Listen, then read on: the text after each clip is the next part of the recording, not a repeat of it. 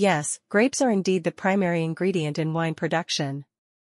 The process of making wine, known as winemaking or vinification, involves crushing and fermenting grapes to produce the alcoholic beverage we know as wine. The specific type of grape used, along with the winemaking techniques and the region where the grapes are grown, can all have a significant impact on the flavor, aroma, and characteristics of the resulting wine. Wine production is a complex and carefully controlled process, and the choice of grape variety is a critical factor in determining the